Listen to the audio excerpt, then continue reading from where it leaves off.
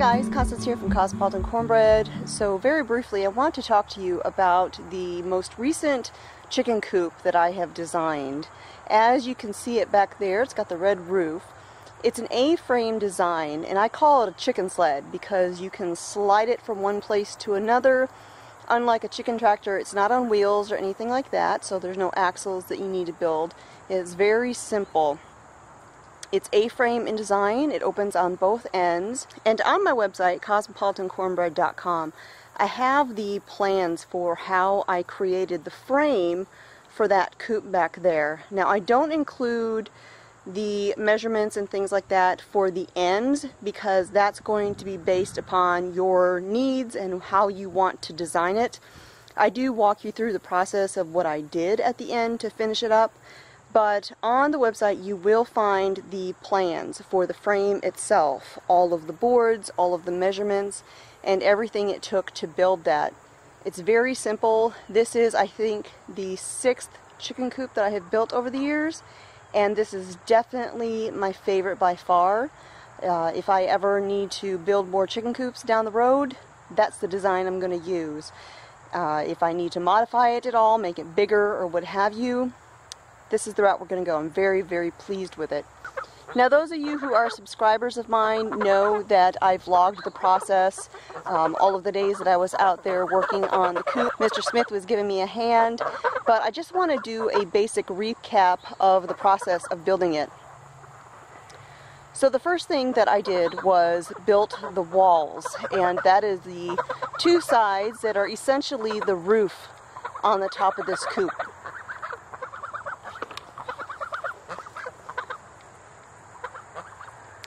Now, once the walls were completed, we connected them together and then we went ahead and we put in the roosting poles and some of the framing that would support the two sides together. Once we had the A-frame itself completed, we set it aside and we started working we started working on the base that it was going to be sitting on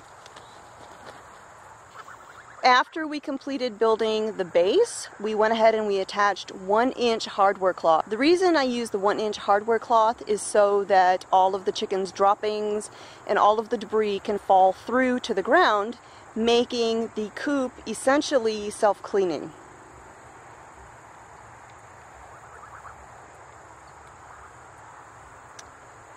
And then once we had the base completed, we went ahead and placed the A-frame on top of it and attached it. We have the whole two big parts put together now. The A-frame structure is on top of the platform. So it's all attached and next we will start framing out the ends we have a vent that will go on this end above the chicken door. And down at this end, there will be the window that I mentioned, the hardware cloth window above the big door. And the big door will be a good portion of this, probably about half of this, a little more than halfway up. It'll be designed so that we can reach in there to get the eggs, but then also uh, it will lay all the way down so that if we need to rake this out at all, we'll have the ability to do that and it won't uh, be in the way. And then here is where it has been completed and I took you through a walkthrough, a tour, so to speak, of the finished coop.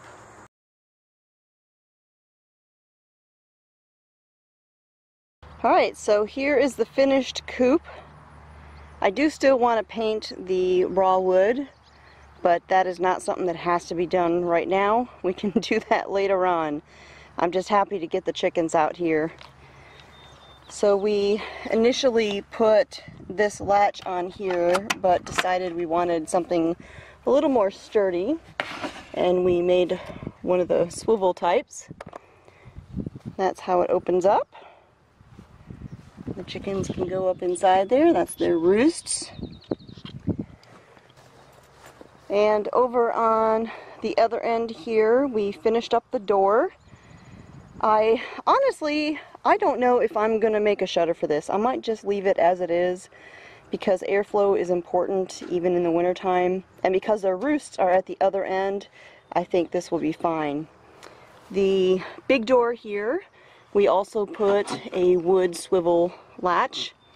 And right here, I added a leg that hinges out so that it can support the door when the door is open that way it doesn't put any stress on the hinges. Hinges, I'm going to be honest with you. that is, that's, they're still a challenge for me. Trying to get them on the right way for things to open the way we want them to. So, but we got it to work. And uh, we're ready. We are ready to move the chickens in here tonight. They will wake up in a new spot.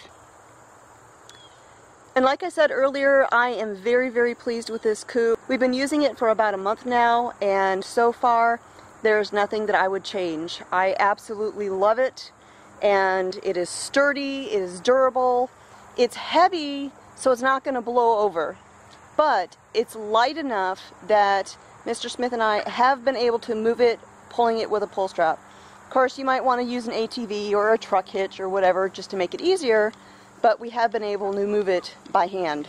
So that is it. You can find the plans for the A-frame chicken sled on cosmopolitancornbread.com along with hundreds of recipes, tutorials, helpful articles, and more. So be sure to check that out. I will link it down below. Thanks for watching, you guys.